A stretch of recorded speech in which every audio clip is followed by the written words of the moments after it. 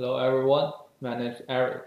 Today it is a great honor for me to share some experiences and tips on how to make a wise use of the PPH in China.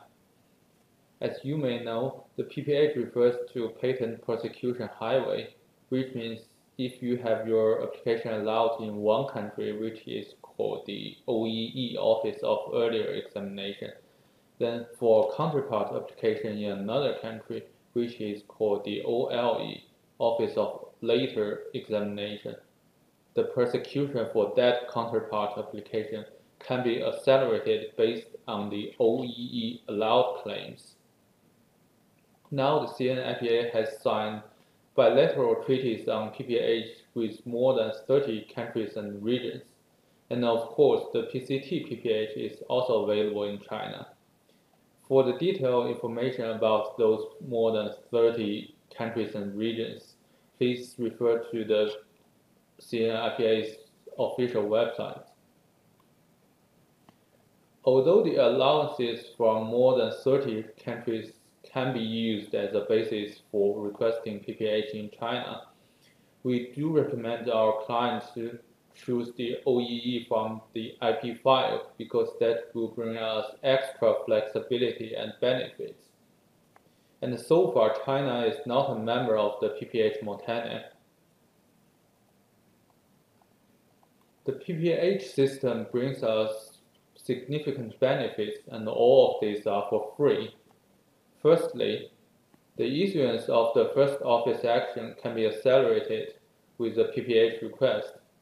In China, in a normal process, the waiting time for the first office action may be about 12 months, and in some extreme situations, we may have to wait for up to three years for the first office action. But after filing a PPH request, we may expect to receive the first office action within only two months. And partly because of that reduced waiting time for the first office action, the total examination time during the whole prosecution can also be reduced. With a PPH request, we may expect to receive a final result, which includes both an allowance and a final rejection within about 12 months. And the average number of the office action during the prosecution is only one. But I just want to emphasize that in our daily work, we seldom receive uh, direct allowance with no office action issued before. That means I guess the real average number of the office action should be a little more than one. Technically, the PPH system only accelerates the prosecution but does not really affect the final result. From some official statistic information, it is said that the grant rate can also be increased with the PPH request. But from our appearance in our daily work, we don't really see this.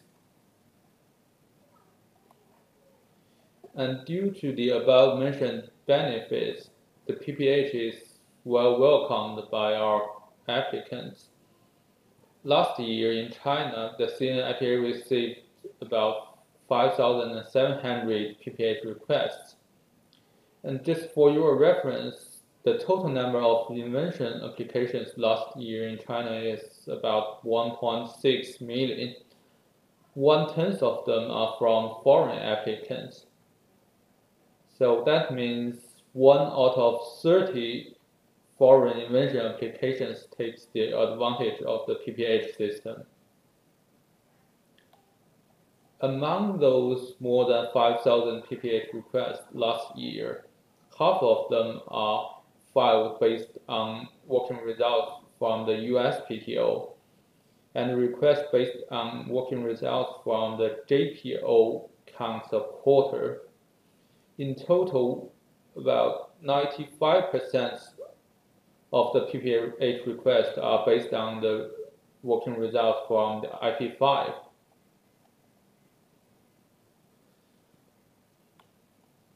Since the PPH system is beneficial and welcomed by the applicants, then how should we make a wise of use of it in China? Firstly, the timing for filing a PPH request. In China, a PPH request should be filed after the application is published, after or at the same time of a request for substantive examination, and before any examination has been made by the examiner on that application. But in practice, we have no way to get to know when the examiner really finished his or her examination. So in practice, uh, the third condition will be that we can file a PPH request anytime before we receive the office of uh, the first office action. This plot shows the timeline for filing a PPH request and the, the green part shows when it is allowed to file that request. So uh, a PPH request will be filed after the request for substantive examination, after the publication of that application, and before the issuance of the first office action. Sometimes the request for substantive examination is made after the application is published, so the PPH request can be filed at the same time of that request for substantive uh, substantive examination. And in China, you can file up to two PPH requests for one application. And then what are the documents we should prepare for requesting a PPH? This is the Chinese PPH request form, which can be downloaded from the CNIPA's official website, and together with its uh, detailed guidance is, uh, is given. You may find that this request form shares similar items and structures with those in some other countries. That's true. And I'll go through this form and uh, emphasize some unique parts that's, uh, that, that are important in China.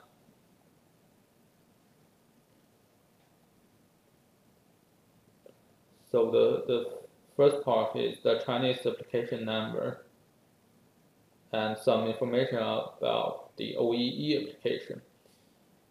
The last line here, the relationship between OEE application and the Chinese application is very important in China. So usually we have some simple relationships between those two applications. For example, the Chinese application and the OEE application may correspond to different national phases of the same international application.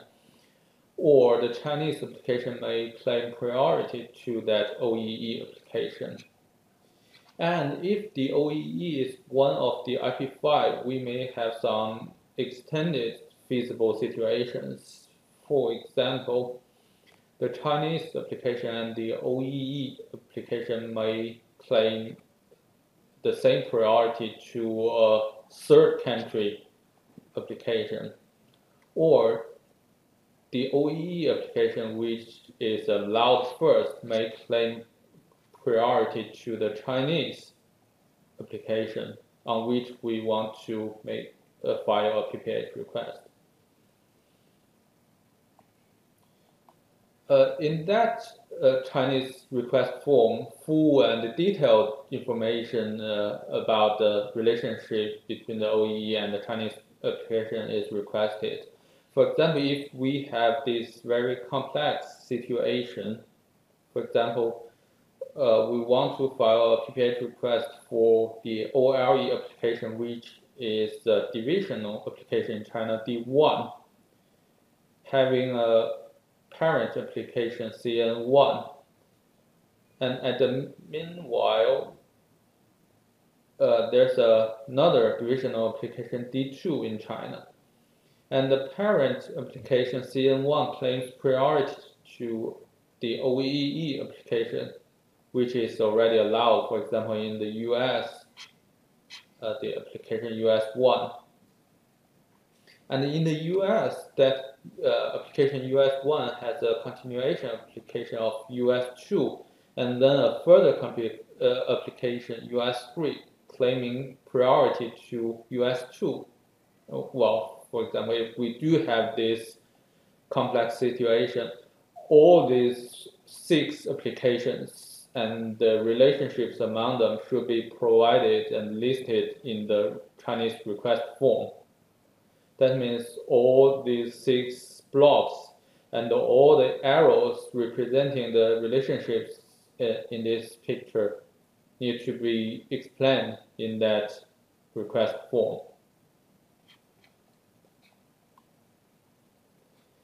And then we need to give some information about the file, the documents related to the OEE application in the PPH request form. If the OEE is one of the IP5, we don't really need to prepare or provide these documents uh, at our end. We just need to tick some boxes here and ask the Chinese examiner to retrieve the needed documents from the, their side. And the next part is also very important in China. The correspondences between the OEE allowed claims and the Chinese claims to be examined. There are three types of correspondences which are allowed uh, to be the basis for a PPH request in China.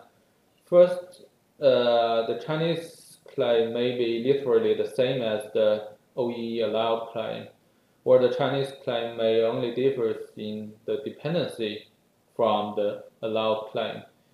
And thirdly, the Chinese claim can be further restricted based on the OEE allowed claim. But in practice, considering that in China, the requirements on the basements or support for claim amendments are relatively strict. Uh, we don't really recommend this third type of correspondence. We we better to avoid it. And since we had to meet these requirements on the correspondences, initiative amendments may be needed on the Chinese application. The deadline for filing initiative amendments in China is three months after entering the substantive examination, which is, of course, after the request for substantive examination. So uh, from this plot, uh, it can be seen that before we have to file our request form in front of the CNIPA, we will have plenty of time to have the Chinese claims amended uh, according to the OEE allowed claims. And then we also need to list the working results from the OEE. The required working results from different offices are given in that official guidance, which is shown here. Basically, the allowances and the rejections. And then we need to list the references uh, mentioned during the prosecution for that OEE application.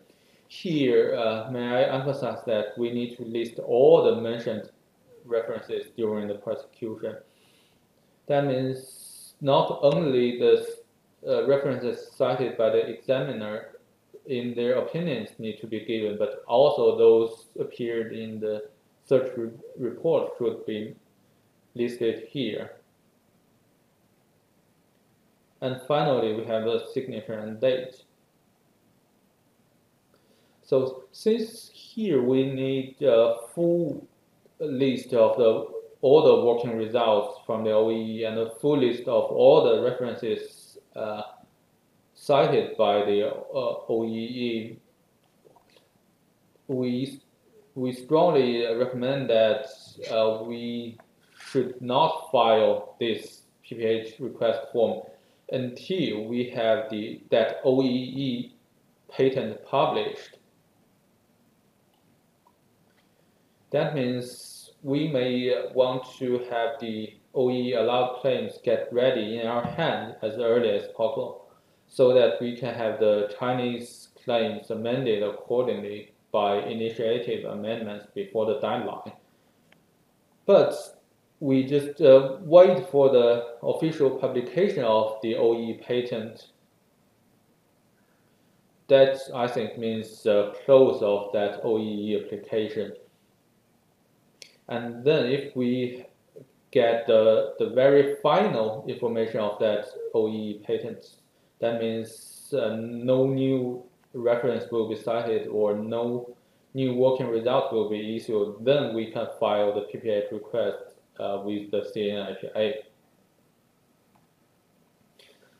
So uh, just uh, in sum, we want to have the OEE allowed claims get ready as early as possible, but file the PPH request form with the CNIPA as late as possible to make sure that nothing is missed in that request form. So generally speaking, filing a PPH request in China is easy, and especially if uh, the OEE is one of the IP5, the documents we really need to prepare at our end are not many, and most of works are for your local agents. So we do recommend our clients to make a wise use of the PPH system in China. Thank you very much. And if you have any question.